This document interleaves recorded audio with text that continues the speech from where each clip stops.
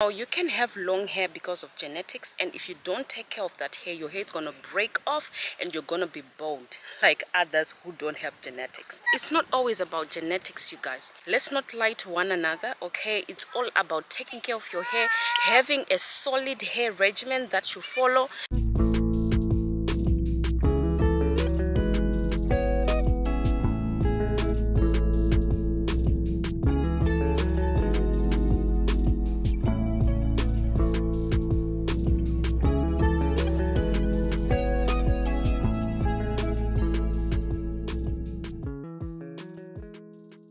welcome back lovelies. Welcome back again into today's video. We're going to be talking about genetics. People most people say ah it's because of genetics. Because you have long hair it's because of genetics. But it's actually not true you guys. Now let me explain. Aka.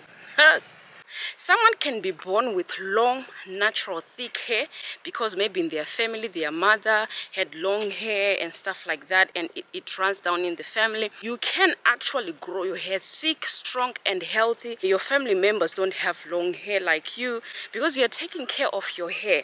So to say genetics makes hair to be so long and thick and grow healthy and all those things. Cha, that's not true. To say genetics plays a big part in hair growth. I understand that sometimes a person is born with long hair and no matter what they do, their hair always grows. I understand that.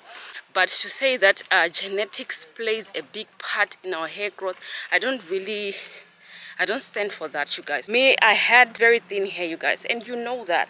I had very thin hair but I started working hard on my hair.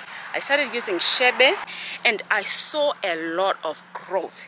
Now you guys you can actually see that my hair is thicker now. People are like wow your hair is beautiful. But it wasn't like this before. I worked hard. I used products that actually my hair loved and this is what my hair is looking like now.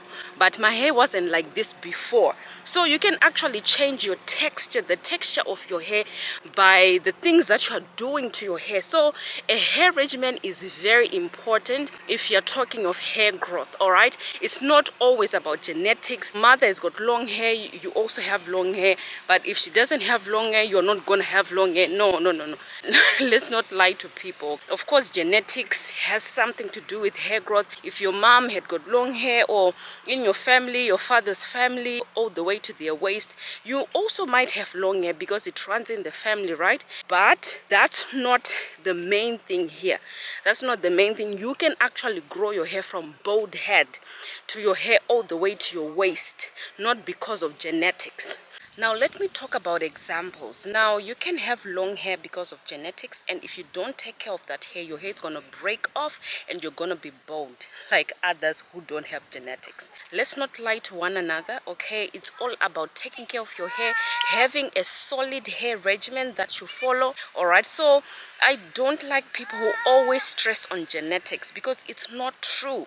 If you look after your hair very well, you feed your hair with all those proteins, all that moisture, your hair is going to grow very, very well. So please don't come for me saying hair genetics play a big part. Of course, genetics does because where you come from, it also determines as well the skin, you know, the hair texture and all those things. But that does not take the whole thing to say if you don't have this in your genetics in your blood your hair is not growing now take that out of your head right now in your family they didn't have long hair you can actually break that and have long hair because of the hair regimen that you have put in place but to say genetics plays a big part in your hair growth I don't believe that. Please comment below if you think what I'm saying is true. I want to know what your thoughts are about this genetic. Can't really say that genetics plays a very big part like 99%